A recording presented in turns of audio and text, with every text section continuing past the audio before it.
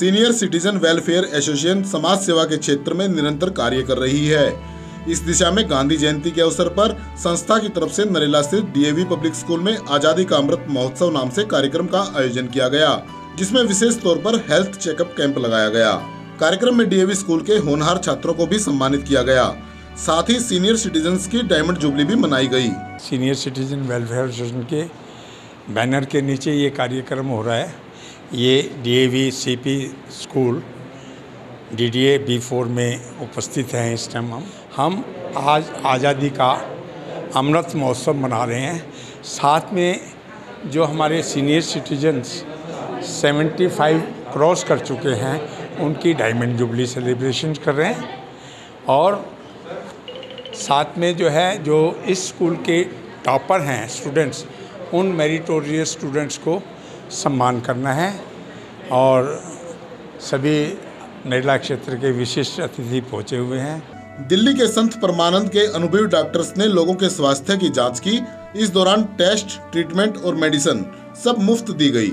नरेला क्षेत्र के समाज सेवियों का मानना है कि ऐसे कार्यक्रम आयोजित होते रहने चाहिए। देखिए बहुत ज़रूरी है क्योंकि सीनियर सिटीजन के लिए तो विशेषकर हर मंथ होना चाहिए। और सरकार की तरफ़ से ये कोई ऐसी जगह मुकर कर देनी चाहिए जहाँ क्षेत्र के बुज़ुर्ग वहाँ जाकर अपना चेकअप करा लें, क्योंकि आजकल बीमारियाँ बहुत से हैं। बुज़ुर्गों की बात अलग है, जवानों को भी हैं, लेकिन बुज़ुर्गों का बहुत ज़रूरी है और इस प्रकार के कैंप क्षेत्र में अक्सर होने चाहिए। कार्यक्रम में दिल्ली पुलिस के ट्रैफ़िक इंस्पेक्टर भी शामिल हुए, उन्होंने इस कार्यक्रम की तारीफ़ की।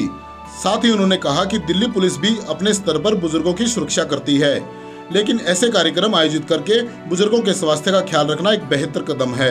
आज के आधुनिक युग में सभी लोग एक तो एक एक दो दो संतान है सभी के पास और दूसरा जो है कामकाज का बोझ इतना है कि किसी के पास समय नहीं है कि वो सीनियर सिटीजन का ख्याल रखें। आज के युग में ज़्यादातर देखा गया कि रिटायर्ड और सीनियर सिटीजन अकेले अकेले ही जीवन यापन करते हैं। इसमें दिल्ली पुलिस ने भी सीनियर सिटीजन सेल बना रखी है और सीनियर सिटीजन के लिए समय समय पर दिल्ली पुलिस अभियान चलाती रहती है और सीनियर सिटीजन से जो बीट ऑफिसर हैं वो जाके उनकी समस्याएँ पूछते हैं और उनकी समस्याओं का समाधान करते हैं। एसपी जून सीनियर सिटीजन वेलफेयर एसोसिएशन के फाउंडर हैं और इस संस्था को खड़ा करना सदाराम गुप्ता का सपना था जिसे उन्होंने साल 2008 में पूरा किया।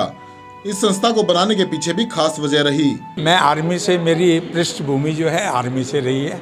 वैसे मेरे पेरेंट्स जो है टीचर रहे। मेरी वाइफ भी टीचर थी, लेकिन मैं आर्मी से मेरी पृष्ठभूमि है। मैंने जब साठ साल का हुआ तो साठ साल के उपलक्ष्य में मैंने सोचा कोई एक ऐसा पौधा रोपण किया जाए, जिससे कि वो ताउम्र उसको कोई पानी देता रहे।